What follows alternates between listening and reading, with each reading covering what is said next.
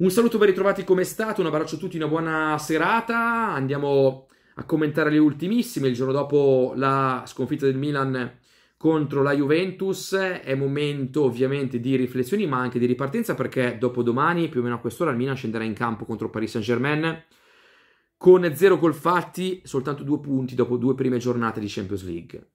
Eh, c'è una brutta notizia purtroppo che eh, riguarda Loftus Cheek che difficilmente sarà della gara mercoledì sicuramente non dall'inizio, ma molto, molto, molto probabilmente neanche dalla panchina.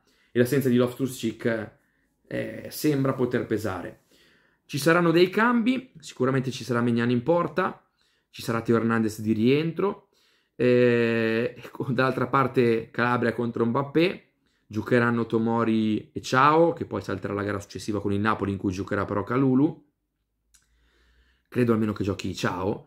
In mezzo al campo allora, eh, il grande dubbio è tra Deli e Krunic. Potrebbe giocare Pobega, forse al posto di Musa con Reinders, che potrebbe fargli straordinari, anche se è sembrato un po' faticato. Per il resto, Pulisic, Leao e eh, Giroud, che dovrebbe essere confermato, anche perché le alternative non sono valide.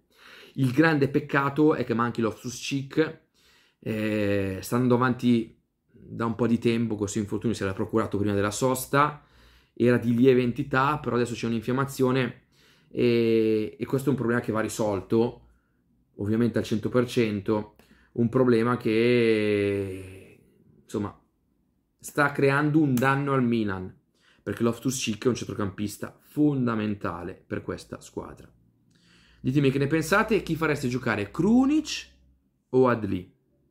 D'accordo per far giocare Pobega, mettere un po' di fisicità oppure no?